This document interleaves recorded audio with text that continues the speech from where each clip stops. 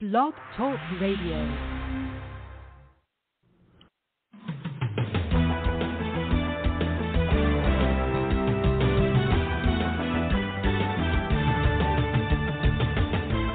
Fulfill Radio, a voice you can trust.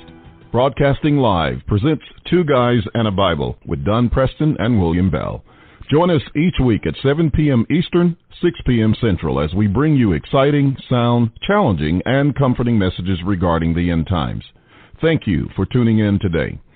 Don Preston is the founder of Preterist Research Institute, or PRI. Don is a prolific author, having written and published 19 books, a host of audio and DVD studies, and is a debater and defender of the full preterist view. His websites are BibleProphecy.com, Eschatology.org, and DonKPreston.com. William Bell is the founder of AllThingsFulfilled.com Ministries and has a website bearing the same name and has authored three books, audios, and DVDs. He has published hundreds of articles and recordings. And now, ladies and gentlemen, welcome to Two Guys and a Bible broadcast with Don Preston and William Bell.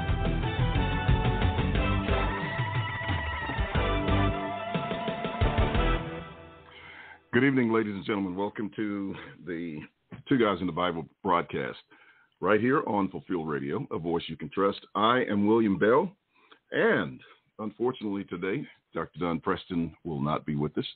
Um, he is ill at the present, and so we solicit your prayers on his behalf. Uh, hopefully, he'll be feeling better. Uh, got a call from him around noon today uh, to let me know that he wasn't going to be able to make the broadcast. And so uh, I know that that is a huge um, disappointment for many, but nevertheless, you know, we continue on. Uh, but we certainly appreciate him and definitely will uh, miss his um, teaching and lessons for the um, for the evening. Nevertheless, we are grateful for the privilege and for the opportunity to be here to uh, continue to share messages with you.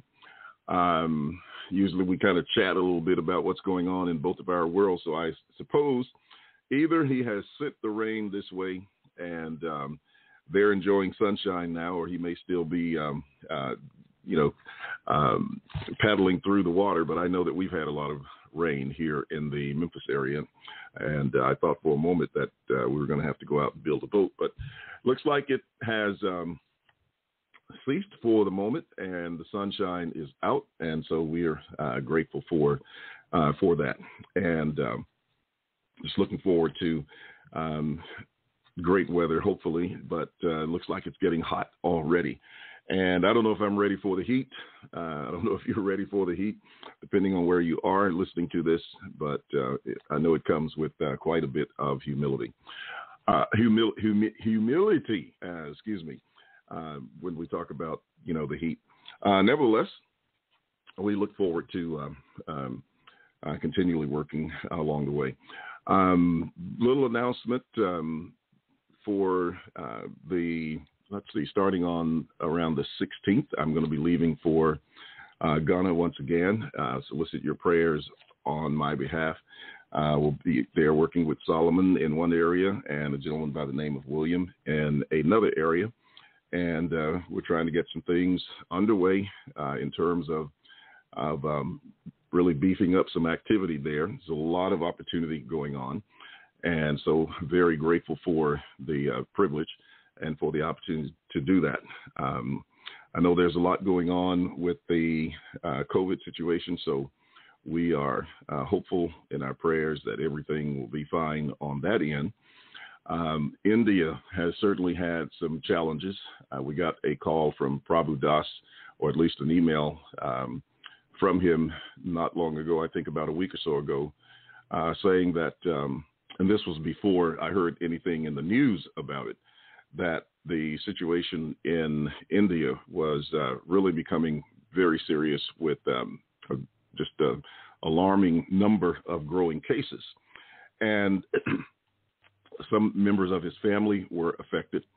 And as you know, many of you know uh, concerning Prabhu Das, he has been around for a long time. He is called the Indian Preterist and um, is also the author of a book or maybe books by this time and has um, been teaching covenant eschatology for quite some time. So uh, pray for him and for his family, uh, for uh, the people there. I've also been working with uh, Adamala Hannock, who runs the um, now uh, the All Things Fulfill Preacher Training School in uh, India, and um, they generally uh, train somewhere between 25 to maybe 35 uh, or more students every year, and training men to preach the gospel.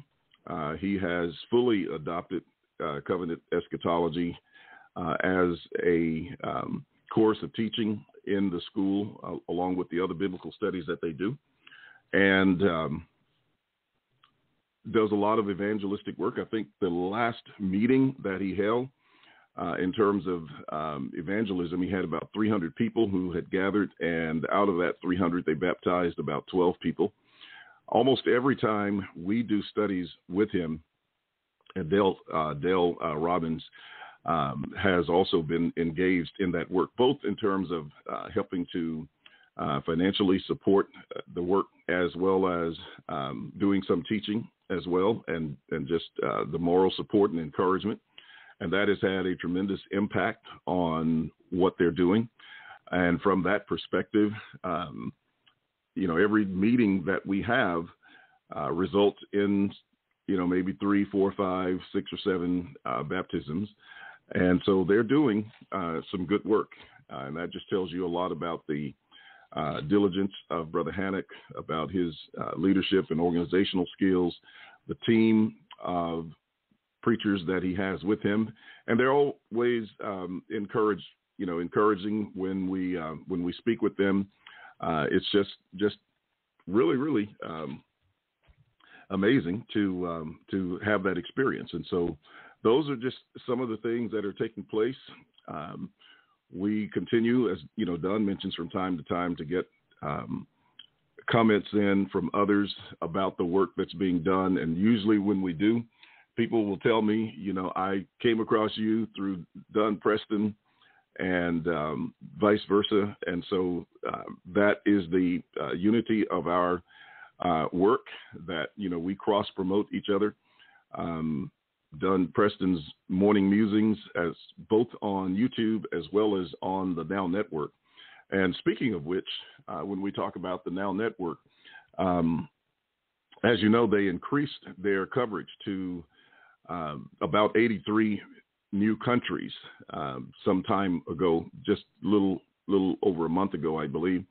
And then recently they announced a, um, a downloadable app that you can choose so that if you wanted all of the uh, broadcasts in uh, for one particular speaker, and there may be a, a um, yeah, you would be able to do that. Now, I haven't subscribed to that yet because there is an additional fee.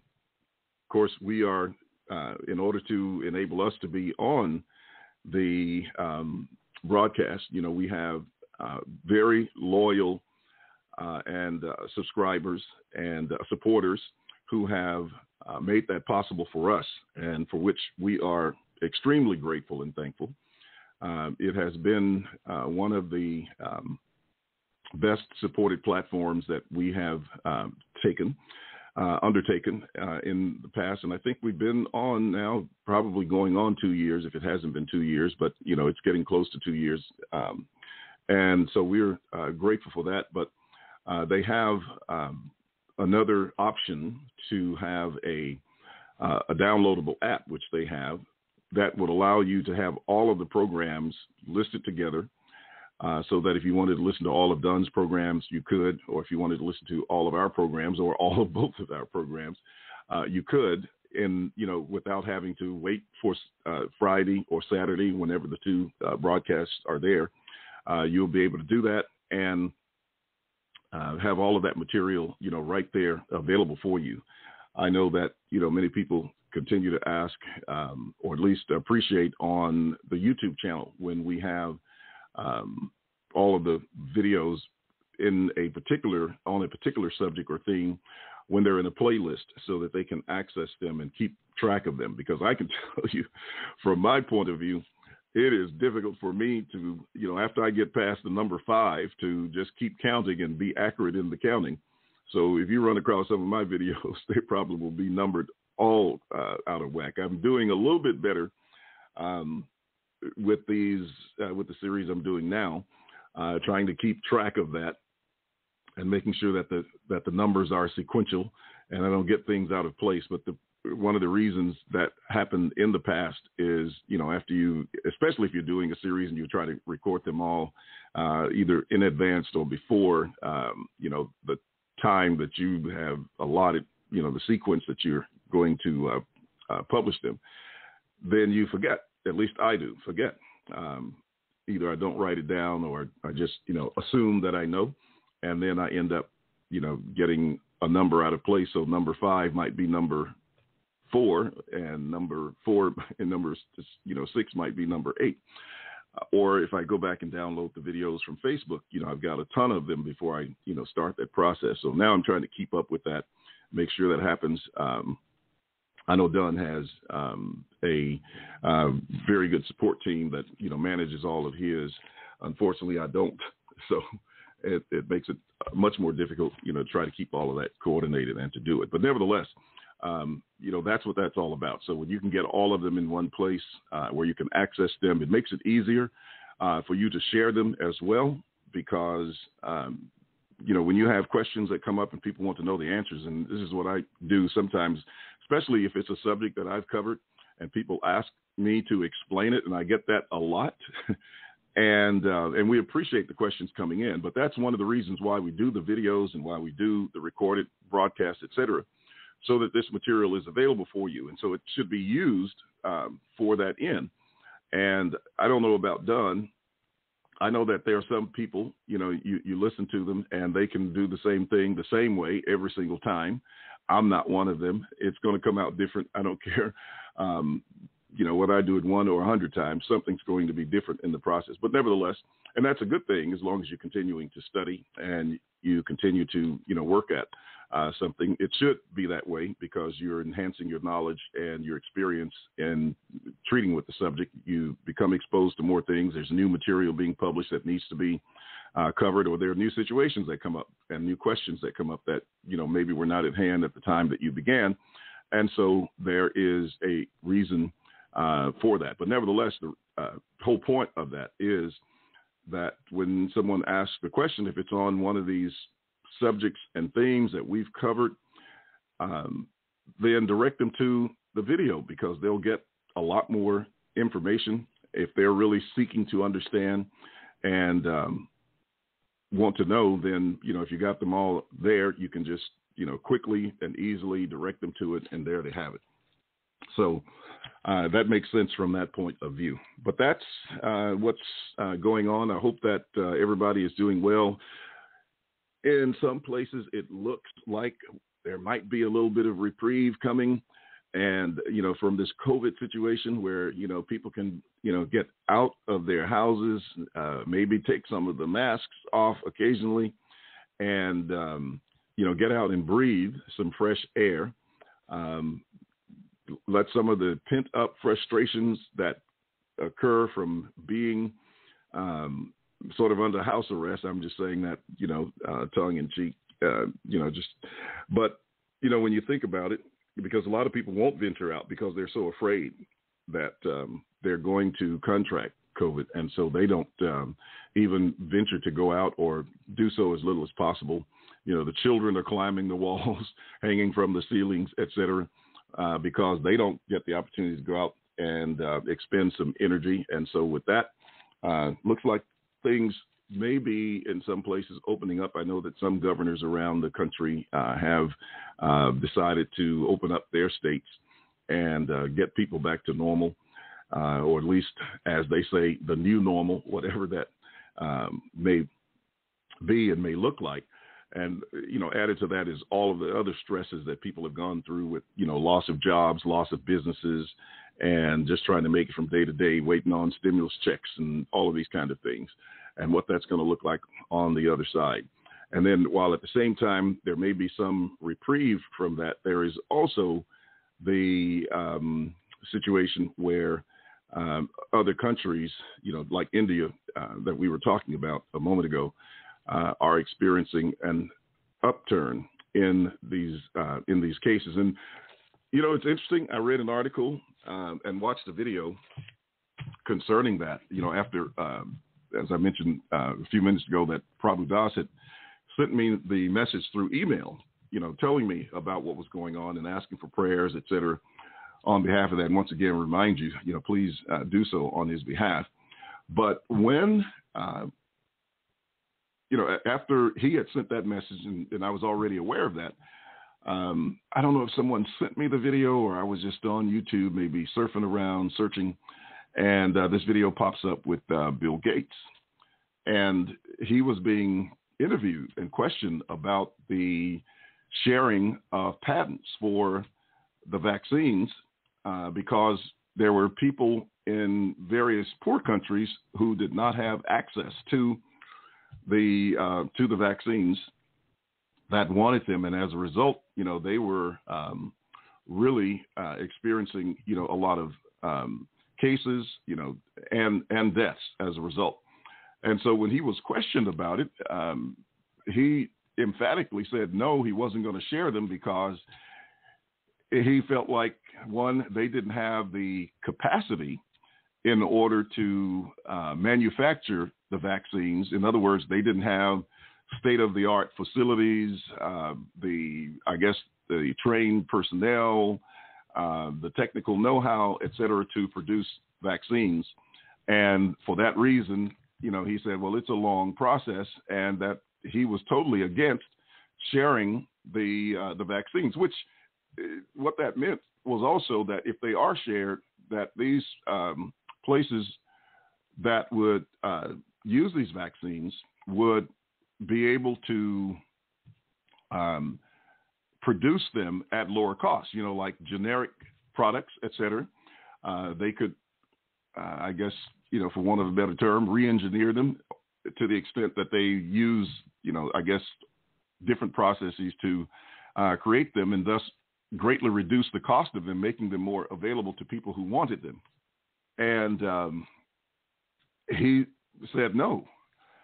And the whole aim, it appears, was that um, this was supposed to be something that was going to help the world. And of course, if you think about it, and this is supposed to be a very, um, um, how shall I say it? You know, a, a disease or or virus that you know spreads so that you got to stay, you know, six feet away from people, and you got to wear a mask, and you got to use, you know, uh, gallons of hand sanitizer and things of that nature, and you know, always wash and, and keep yourself, you know, hygienically uh, clean.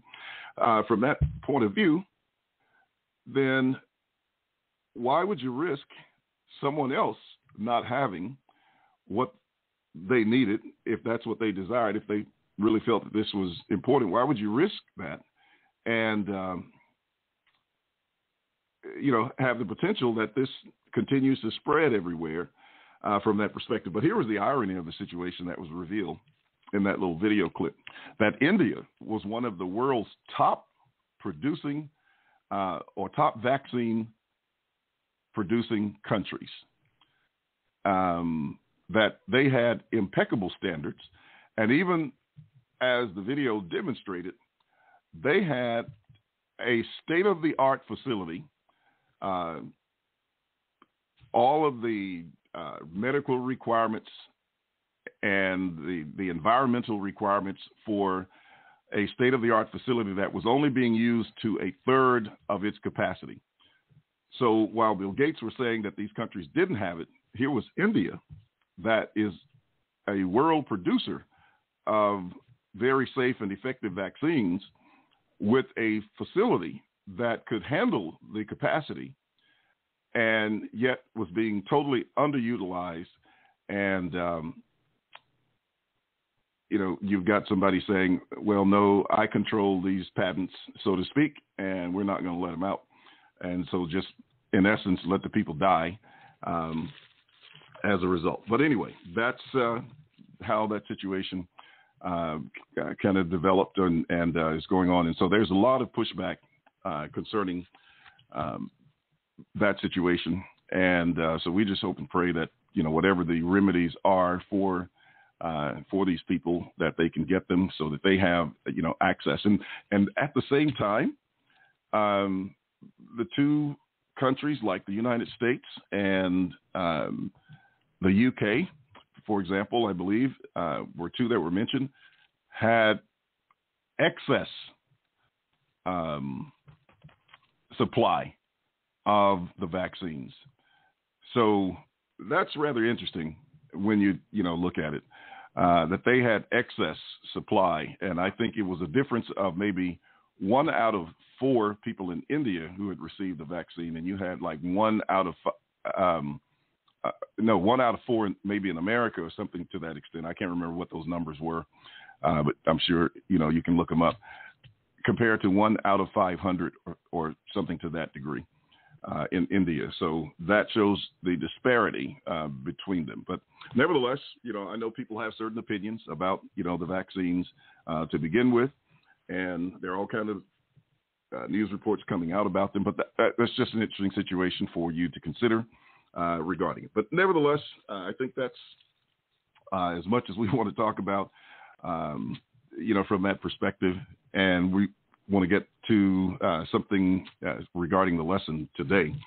Uh, we've been studying from Ezekiel chapter 47, uh, and in recent weeks, um, recent lessons, we've talked about the land, and Don was introducing uh, some concepts regarding the land. So we want to look at that just a little bit, say you know a few things about it that um, may be helpful for you. Uh, I know that you know, this is one of the areas where he's done a lot of work, and uh, I haven't done as much work in terms of, you know, looking at the land. But it is an interesting, uh, it is an interesting topic, especially as it transitions from uh, the old covenant to the new covenant, and uh, from you know the prophecies that are mentioned regarding it. But uh, Ezekiel 47, beginning at verse 21, is a um, a key text regarding the land and uh, when you speak about the land, you're talking about the uh, the inheritance, which we'll say some things about uh, as we move forward in the lesson. But nevertheless, in verse 21, he says, "Thus you shall divide this land among yourselves, according to the tribes of Israel. It shall be that you will divide it by lot, as an inheritance for yourselves and for the strangers who dwell among you, and who bear children." Among you. They shall be to you as native born among the children of Israel. They shall have an inheritance with you among the tribes of Israel. And it shall be that in whatever tribe the stranger dwells, there you shall give him his inheritance, says the Lord. So we have in Ezekiel 47 uh, the text that speaks about the land being uh, distributed in terms of the inheritance. And of course, here we have the land being um, given as an inheritance, you know, divided by lot for Israel when he says, for yourselves. And then he says, and for the strangers who dwell among you and who bear children among you and saying that they shall be to you as native born among the children of Israel. So these would be people who were not uh, native born Israelites, but yet because they were among them, they would have the privilege and the opportunity to have an inheritance in the land. Now, we do have those who uh, believe in this exclusivity of Israel and that you know, it's only uh, the 12 tribes who were to be the beneficiaries of the promises of the inheritance. And that, from my perspective, runs counter to the prophecies that we have in Ezekiel and elsewhere in the scriptures, uh, speaking about the inheritance of the land. Uh, in addition, as we've pointed out in the broadcast and in, in previous lessons, that the land promises are transformed from real estate to um, redemption to salvation in Christ. Um, I know that makes some, you know, very um, irritated, you might say, because they believe that this uh, land promise is still valid, that uh, this gives validity to people who have claimed the land, and that others who have uh, these forward looking prophecies, these futuristic uh, tendencies for Israel, that um, these land promises are yet to be fulfilled. Um, you've got several groups. You know, you've got the Hebrew Israelites, and of course, you know, people um, uh, talk about them having exclusive rights to the land. You've got the people who um, are the modern state of Israel claiming rights to the land. Um, and then you have the people who were dwelling in the land before um, 1948 claiming, you know, rights to the land. So there's a lot of controversy regarding the piece of real estate that uh, people are clamoring over. But uh, that's not what the scripture is focused on when we look at Ezekiel uh, 47. Uh, we're talking about uh, the inheritance uh, in the gospel, the inheritance that God promised to Abraham that formed the basis of the land promise um, regarding the fulfillment in the New Testament. And so when it comes down to this particular land, uh, this is a land that was not just simply for Israel, but it was for um, a broader scope. And that is indicated in this term and in this concept uh, where he says, They shall be to you as native born. Uh, this is for the strangers who dwell among you. Now, you know, I know this was a text that has been covered before, but I want to uh, look at it again. When we look in Exodus chapter 12, the 12th chapter of the book of Exodus, uh, you have similar language that speaks about the stranger who was in the land. And in verse 48, the text says, And when a stranger dwells with you and wants to keep the Passover to the Lord, let all his males be circumcised, and then let him come near and keep it. And he shall be as a native of the land, for no uncircumcised person shall eat it. So here we are with the stranger who was dwelling among among Israel, and of course this is you know before there was any division or split in the 12 tribes. Um, you had the whole uh, nation of Israel here, but yet there were strangers who dwelt among them. So um, I can't see how it makes any sense to claim that these might have been, you know, the northern tribe versus the southern tribe, etc. Uh, these were clearly strangers who were among the 12 tribes, and that's the way the Bible uses the uh, the term here in Ezekiel chapter 12 and verse 48. And so it says, And he shall be as a native of the land, for no uncircumcised person shall eat it. And um, that was the reason that he had to be circumcised. And of course, you know, with Don's new book coming out, where he talks about the importance of circumcision, of course, um, uh, I'm sure some of this material is covered. But he says, One law shall be for the native born and for the stranger who dwells among you. Thus all the children of Israel did as the Lord commanded Moses and Aaron, so they did. And uh, it came to pass on that very same day that the Lord brought the children of Israel out of the land of Egypt according to their army. So uh, you had, um, along with Israel, and you know, he tells you even in verse 38 of the same uh, chapter, uh, 37 and 38. Then the children of Israel journeyed from Ramses to Succoth, about 600,000 men on foot besides children. A mixed multitude went up with them also, and flocks and herds and a great deal of livestock. So they had this mixed multitude among them. They had uh, many of the strangers among them because through all of the signs and wonders that God did in Egypt, many of them were convinced that this was the true God. That was the reason that God did those things.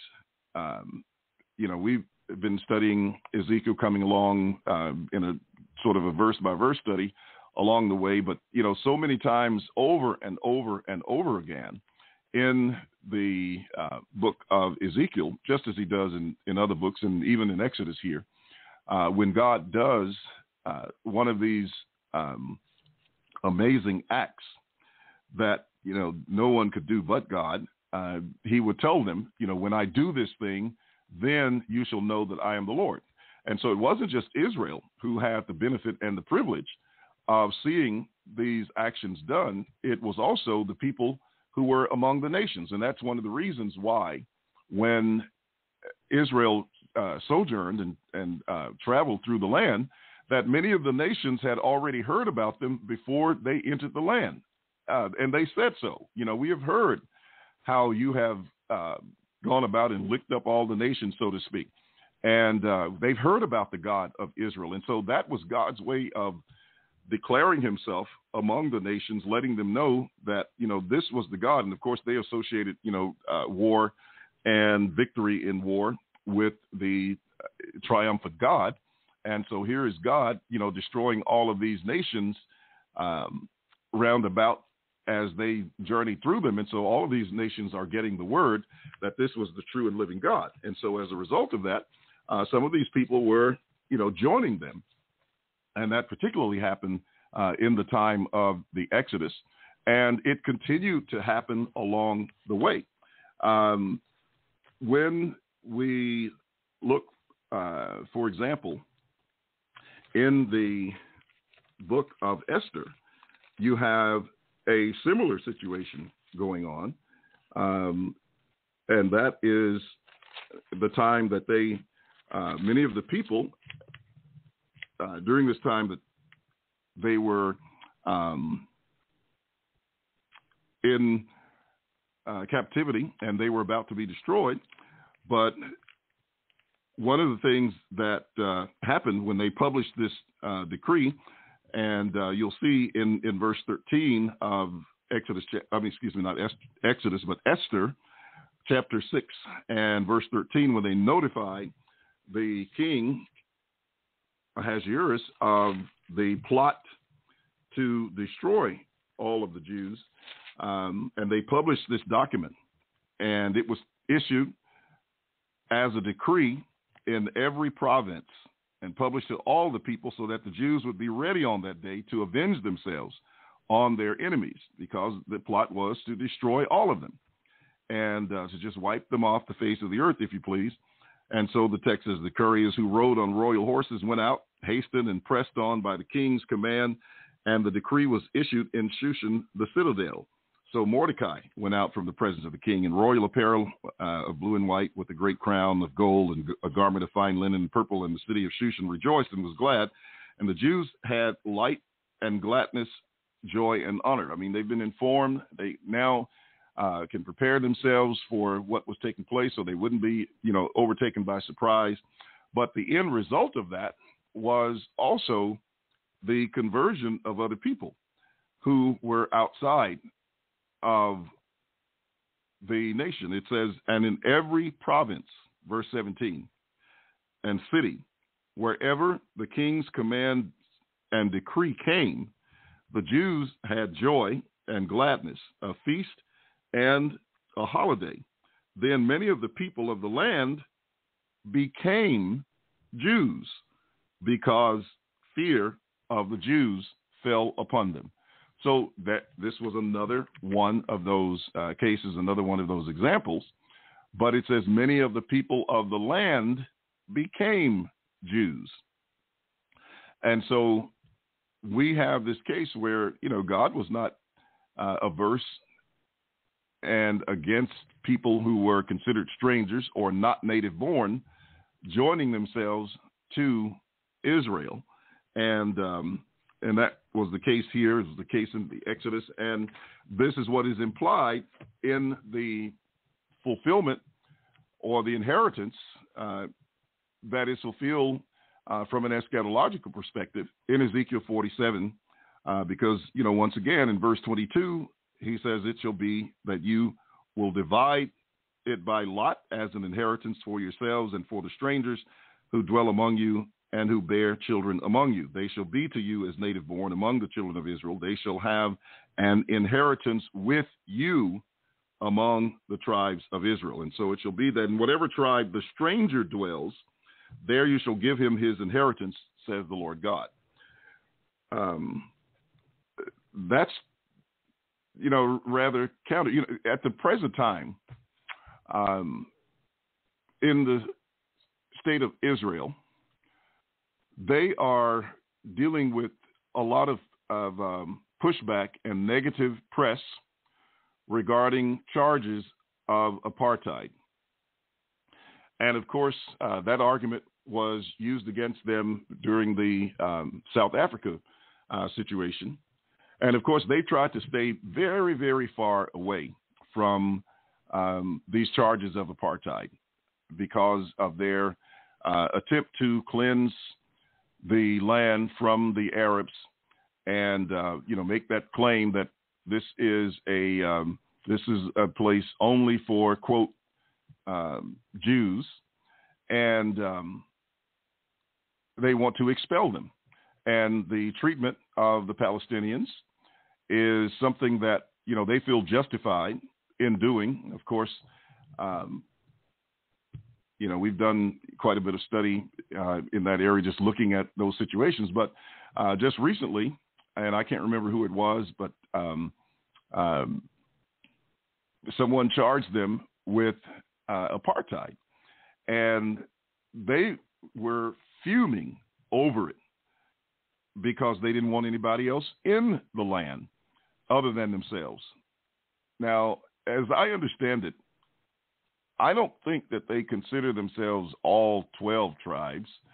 Um, I think they consider themselves just Jews. Well, that wouldn't be all 12 tribes, but nevertheless, they want the land to be all Jews. Um, it's just kind of an interesting point uh, when you think about it.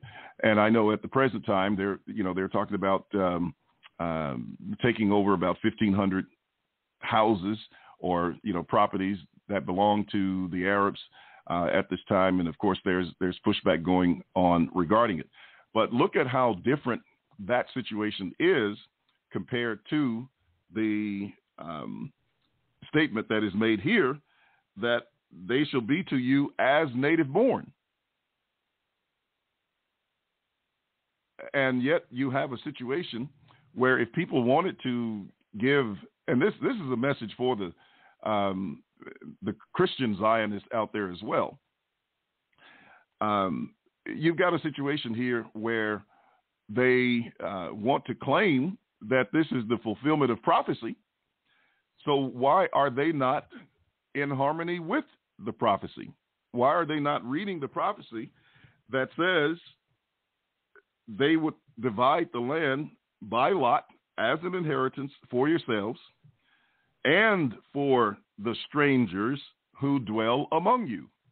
There's nothing in this text that says that they were to um, push these people out of the land into the edges of the sea. Uh, there's nothing that says they were to, you know, put them into an open prison. There's nothing that says that they were to treat them as non-Israelites. I mean, if they could become Jews, according to Esther, uh, chapter 6, and what was that, verse 17? Then why couldn't they become such here? Not that necessarily they want to, but he tells them uh, they would be to you as native born among the children of Israel, and they shall have an inheritance with you. Yet they don't want them to have any space in the land. They want them totally pushed out of the land. So that can't be what's under discussion here in Ezekiel 47. And it shows, um, you know, it's just another example of why uh, these prophecies are not to be interpreted from that perspective, uh, when you look at them, at least, you know, when you kind of draw that subject out a bit. But nevertheless, uh, it's just contrary to even what the Bible taught um, regarding it. They shall have an inheritance with you among the tribes of Israel, and it shall be that in whatever tribe the stranger dwells, there you shall give him his inheritance. In other words, every tribe he's in, he is supposed to have his inheritance, says the Lord God. Now, what's interesting in all of this is the fact that um, there is no physical land inheritance that was the subject of the um, of the text uh, in the first place, and this land is in the new city. So when we talk about the land, we have to at the same time talk about the city uh, because the land's in the city, the temple is in the land. And so now we have a situation where we have the temple, we have the land, we have the city. But it's also, um, when you begin to talk about the city and the land, you have to talk about the covenant as well. And all of these uh, things that we've been discussing in terms of these Old Testament promises and uh, Israel and the strangers dwelling among them, uh, such as in Exodus and in um, Esther and other passages, were involving things that were a part of the Old Covenant. But the argument is made that this was supposed to be a um, perpetual covenant, an everlasting covenant that was made with um, Israel, and that uh, they had the promise of the land, and that this uh, land was never uh, to um, uh, be removed from their possession. Well, that runs counter to quite a few passages in the um, in the Bible, in the Scriptures, and we can see that the land was a uh, there was a covenant promise with the land, and this covenant promise is encouched with uh, even the subject of circumcision, as we uh, mentioned in some previous lessons. For example, in uh, Genesis chapter 17, in Genesis 17, you'll note uh, the conditionality of the premise, even regarding uh, Israelites, even regarding those who were among Israel. Uh, when we start in Genesis 17 and verse 8, the text says, Also I give to you and your descendants after you the land in which you are a stranger, all the land of Canaan, as an everlasting possession. So note that we've got the land. Understand that we have an everlasting possession mentioned. And he says, and I will be their God. And we've got a relationship with God all in the same text. I will give you and your descendants the land in which you are a stranger, all the land of Canaan, as an everlasting possession, and I will be their God. So there's real estate, there is the everlasting possession, and there is the relationship. And he says in verse 9, and God said to Abraham, As for you, you shall keep my covenant, you and your descendants. Now look at that. As for you, you shall keep my covenant, you and your descendants after you throughout their generations. So there's a covenant aspect to this land and to the relationship and to the everlasting possession. This is my covenant, which you shall keep between me and you and your descendants after you. Every male child among you shall be circumcised, and you shall be circumcised in the flesh of your foreskins, and it shall be a sign of the covenant between me and you. So here is circumcision being given as a sign of the covenant between um, God and his people. And of course, he tells him that Everyone who was eight days old among you shall be circumcised, every male child in your generations, he who is born in your house or bought with money from any foreigner who is not your descendant. Notice, even here in the text, in verse 12, let me read it once again. He who is eight days old among you shall be circumcised, every male child in your generations he who is born in your house. And a generation, that term comes, you know, that's genealogy. So those are the people who were the bloodline. Every male child in your generations, he who is born in your house. But notice, or bought with your money from any foreigner. So these were not native born people. They were bought with money from the foreigner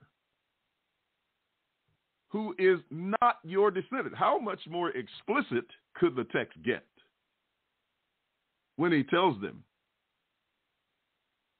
and compares those who were his generation, born in his house, or bought with money from any foreigner who is not your descendant. He who is born in your house and he who is bought with your money must be circumcised. And my covenant shall be in your flesh for an everlasting covenant. And the uncircumcised male child who is not circumcised in the flesh of his foreskin, that person shall be cut off from his people. He has broken my covenant. He's out of covenant with God. That ends his relationship.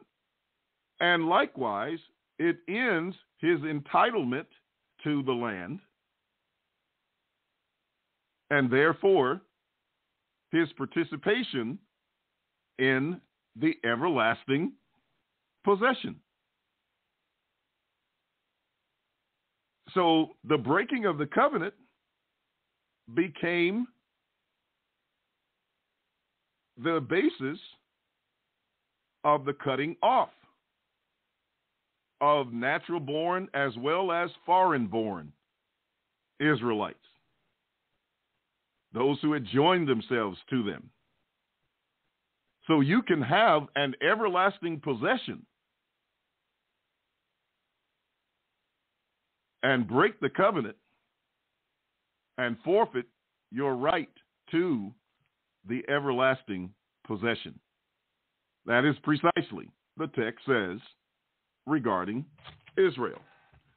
And so, looking at it from this perspective, uh, we should not assume or conclude that um, just because Israel had the land, the natural descendants had the land, that it meant, or, and because it was an everlasting possession, and even because they had a relationship with God, that it meant that they couldn't forfeit it based on the breaking of the covenant. And that's what God charges them with. So much so that he said he was going to make a new covenant with them. Let's turn to Jeremiah. Now, remember, uh, we pointed out that this land involved the city. And of course, through the city was the temple, which is or should help us to define what we're looking at as far as this land is concerned.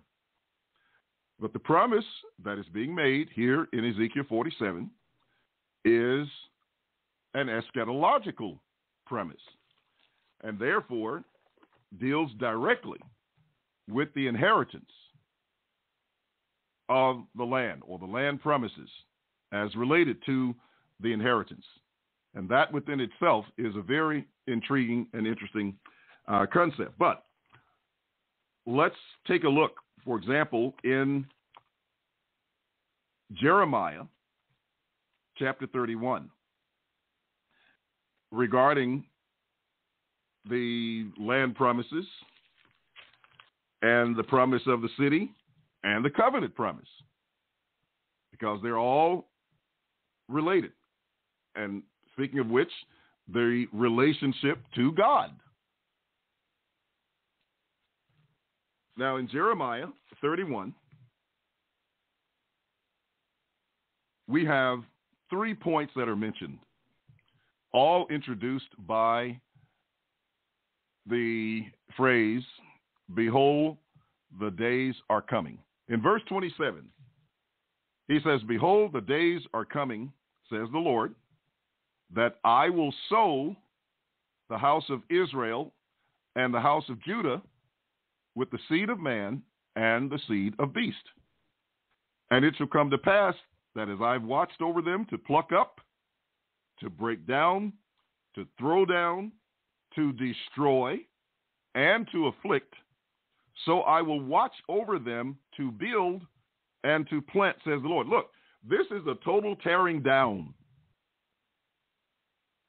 of the nation and a rebuilding, a total digging up Israel from the roots and replanting them.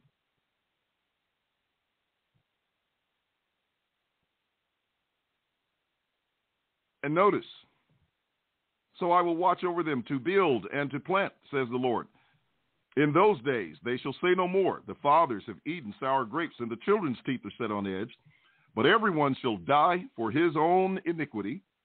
Every man who eats the sour grapes, his teeth shall be set on edge. But here's the point this is where God says, I am going to sow the house of Israel and the house of Judah. Now, one point that Paul makes in 1 Corinthians 15 and the same Jesus makes in John 12, 24 is that you do not sow the body that shall be. So if we have Israel as the body of Moses, and God saying, Behold, the days are coming that I will sow the house of Israel and the house of Judah with the seed of man and with the seed of beast. He's not going to sow them in the state that they are or were at the time so that they come back in the same state. That is against the law of sowing and reaping. Paul said, You do not sow the body that shall be. They were the body of Moses. Jude 9. And the reason that he would not sow them so that they would be the same body. I mean, you know, can you imagine a farmer going out and planting a bean seed? And then when he goes to harvest, a bean comes up. And that's all he's got is a bean. No, that's not the way it works. It doesn't come up the same bean that he sowed. It doesn't come up the same um, uh, form. You know, it comes up as a plant, and of course, the plant produces, but it's transformed from the body that it had that was that was sown, and that was the argument that Paul makes, and the same one that Jesus made, and it comes up a lot more, of course, as well. But the point is, here is God saying, "I'm going to sow them." And he already indicates that there was going to be some change when he says, In those days they shall no more say, The father has eaten sour grapes and the children's teeth are set on edge, uh, but everyone shall die for his own iniquity, etc. So he's already indicating there would be some change in what was taking place. But the, the point is, there was a time coming in which they would be sown. Now, in verse 31, he uses the same phrase and he says, Behold, the days are coming, says the Lord, when I will make a new covenant with the house of Israel and with the house of Judah. Now remember, in the previous verse, he said he's going to sow the house of Israel with the uh, and the house of Judah with the seed of man and the seed of beast. And here he says he's going to make a new covenant with the house of Israel and with the house of Judah. And I would take both of those texts as somewhat elliptical, or at least this one, to include everything that he said in verse 27. But he says, not according to the covenant that I made with their fathers. You see, there is some change going on. They're being sown, but they're not going to be sown back into the same covenant. It's a different covenant altogether. And the different covenant is of a different nature, and its results are different as well. Not according to the covenant that I made with their fathers in the day that I took them by the hand to lead them out of the land of Egypt. Watch this. My covenant which they broke, though I was a husband to them, says the Lord. So he says they broke the covenant. Well, if they broke the covenant, that forfeited their right to an everlasting possession, to a relationship with God, and uh, to the land. And when you trace out Israel's history, they have a history of breaking that covenant. And that's what Jesus charged them with in Matthew 23, and what the apostles charged them with in 1 Thessalonians 2 14 through 16. And so God's wrath would come upon them because of the breaking of that covenant that or wherein they had forfeited the land promises, etc. And that's why you have Stephen or the, the um, leaders in Israel saying concerning Stephen, we've heard him say that this Jesus of Nazareth is coming to destroy this place and to change the customs delivered to us by Moses. And so he says, But this is the covenant that I will make with the house of Israel after those days, says the Lord. I will put my law in their minds and write it on their hearts, and I will be their God, and they will be, or they shall be my people. So now he has a relationship with them that is different, a covenant with them that is different, terms of the covenant that are different, and the blessings of the covenant are different. No more shall every man teach his neighbor and every man his brother, saying, Know the Lord, for they shall all know me from the least of them to the greatest of them, says the Lord, for I will forgive their iniquity, and their sin I will remember no more. See, the inheritance is changing from land to salvation from sin.